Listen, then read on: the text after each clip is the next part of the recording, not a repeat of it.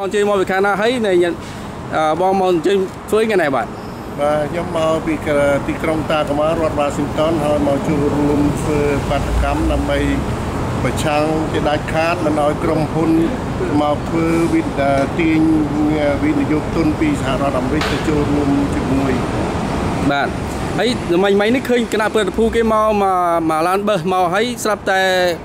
អឺបិទទ្វារបឹសក៏បើក ជំវិញអាគារទៀតទៅអឺបងបានជួបឃើញមិញហ៎បាទតាមគោលការណ៍ហ្នឹងគេប្រង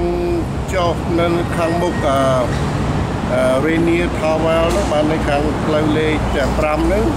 ប៉ុន្តែមកដល់ឃើញពួកយើងនឹងចូលបាតកម្មកាន់ទងកាន់អីគេក៏នាំគ្នាឈប់ទៅហើយបាត់ទ្វារគេបើកពង្ពោះទៅហើយក៏គេបកចូលមកតាមផ្លូវ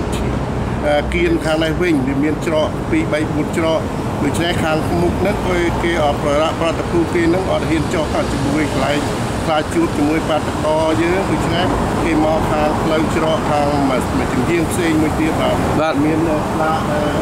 Rainier Square បាទបាទចឹងឯង បងប្អូនបាតកោយើងមានកាន់តំបងកាន់តំបងឆក់តំបងអីទេថ្ងៃនេះបានជាបងបងគណៈព្រឹទ្ធភូខ្លាយស្បំឡើងបាទយើងមានទៅតុងជ័យយើងមានសារយើងធ្វើដោយអហិង្សាដើម្បីឲ្យសហរដ្ឋអាមេរិកនឹងនិងឲ្យជាពិសេសប្រជាជនយើងនៅខាងក្រៅនឹងដឹងថាកុំឲ្យរ៉ូស៊ីជាមួយក្រុម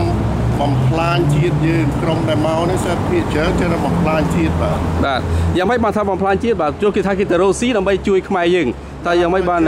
រ៉ូស៊ីនឹងមិនជួយខ្មែរមិនមែនជួយខ្មែរទេជួយតែបុគ្គលបកពួកទេខ្មែរយើងនៅតែវេទនាដដែលអស់ព្រៃអស់អីហើយអ្នកក្រុមហ៊ុនមួយមួយសិតតែ millionaire billionaire បាទហើយដូច្នេះប្រជាជនក្រទៅក្រទៅចំណាក់ស្រុកពីថ្មីថ្មីនេះជាង20ម៉ឺននាក់ហើយដែល